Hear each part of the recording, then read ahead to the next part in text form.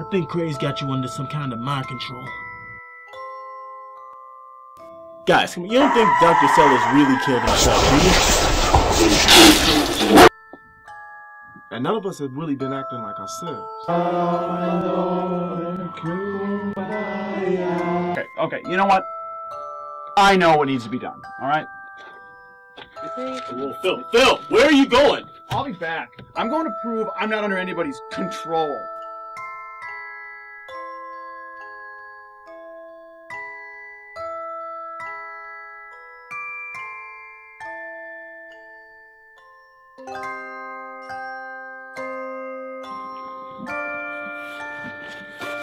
Ow! Ow!